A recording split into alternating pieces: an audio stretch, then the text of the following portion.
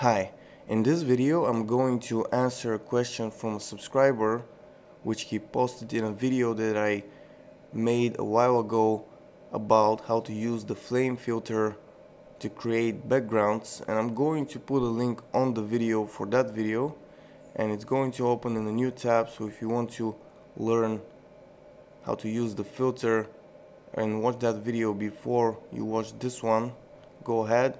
Now there is a problem with the filter in GIMP 2.8.4 that video I made in 2.8 the filter was working and now in 2.8.4 it's not working well but I'm going to show you how to work around that. So let's go to the filter render nature flame and I misclicked here. Let's go back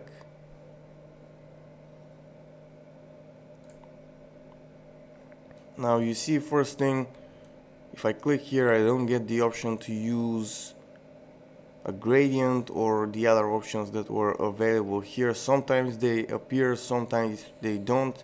It's just the filter is not behaving correctly.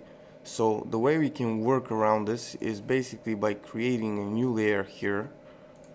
And uh, by the way you can also use an image here. You can drag and drop an image or open image as a layer digital photograph or some something else. But I'm going to use just this and go ahead and select the blend tool grab a gradient from here and let's use some with more colors.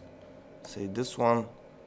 Let's select radial gradient and I'm going to click and drag like this.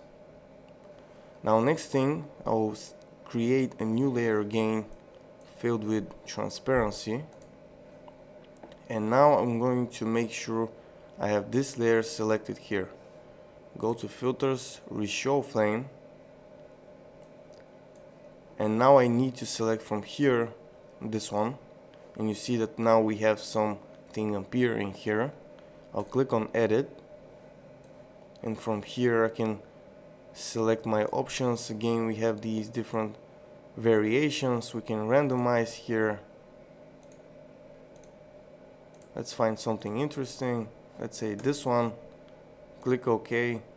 And then just click OK and this will render it.